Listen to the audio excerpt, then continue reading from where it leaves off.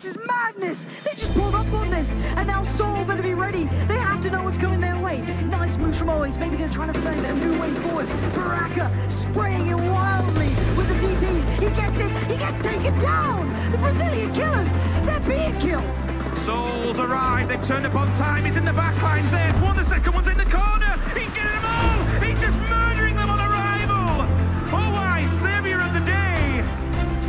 might be able to get the res here. D2E during all of this, he did survive.